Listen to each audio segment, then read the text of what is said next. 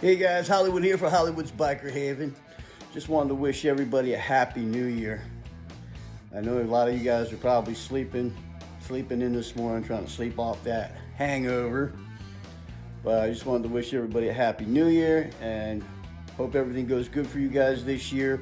Going into the new year with positive attitude, that everything is gonna go your way with a new job or a new love or success in whatever it is that you got, whatever goal you have.